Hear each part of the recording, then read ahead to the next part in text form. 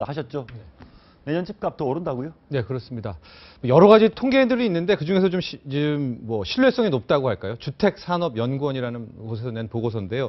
내년 집값은 이제 올해보다 한 2% 정도 오를 것이다. 예, 얘기를 했고요. 그 전세급 상승률은 3.5% 오를 것이다. 이렇게 매매가, 전세값 얘기를 했고 반면에 월세는 하향 조정될 것이다. 이렇게 어, 세 분야에 뭐. 전세 3.5% 오르는데 수도권 전세금은 5% 이상 오른다. 그렇죠. 하고 아마 그것도 또 평균이기 때문에 체감으로는 거의 10%대 가까이 전세값이 내년에 오를 것 같은데 어, 예, 예, 지금 여론이 왔다 갔다 하고 있습니다. 네. 아, 설이 분분한데 한쪽에서는 규제 완화의 효과로 경기가 계속 회복세로 갈 거다라는 얘기를 하고 있고 한쪽에서는 최경환 노믹스 약발 다 떨어졌다. 거래량 줄고 있다. 어느 쪽이 맞습니까?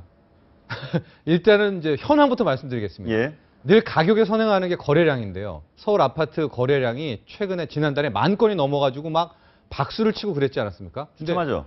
11월 달에 예, 거의 7천 건대로 다시 또 거의 급락을 한 상황이어가지고 거래량이 이번에 12월 달 1월까지 못 산다면 역시 내년 경기에도 부동산 경기도 이렇게 쉽게 오르지 못한다. 그래서 우리 시청자 여러분들은 가격을 볼 게 아니라 미리 거래량을 먼저 보는 게 좋을 것 같습니다. 거래량을 네. 한번 보죠.